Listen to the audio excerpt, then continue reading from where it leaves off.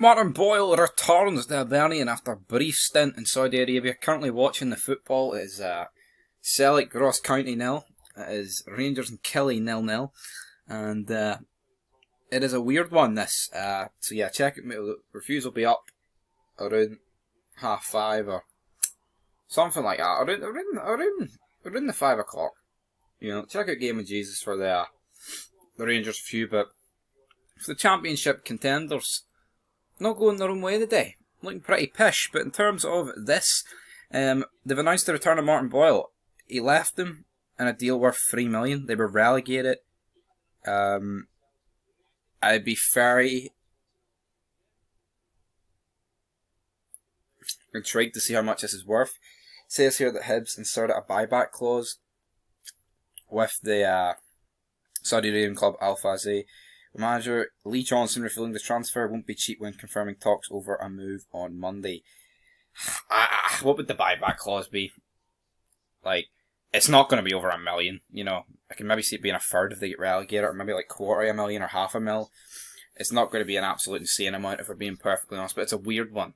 I mean, by the looks of it, Hibs have still made a decent amount of profit, and they've got their best player back. it was literally a loan.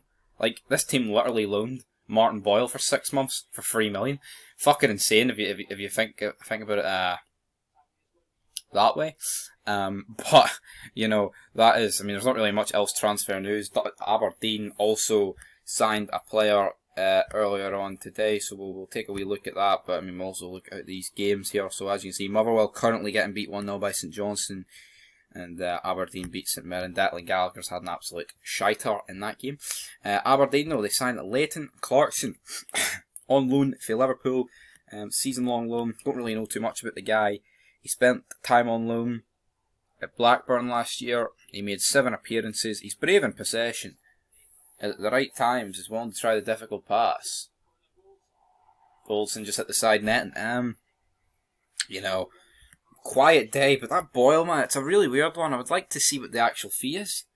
I mean, I'm I, if I'm to predict, it's going to be around five hundred thousand.